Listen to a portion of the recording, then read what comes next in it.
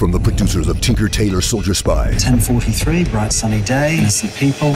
You and Ms. Howe are defending the accused terrorist. At the highest level of government. There are powers at play that neither you nor I may even hope to control.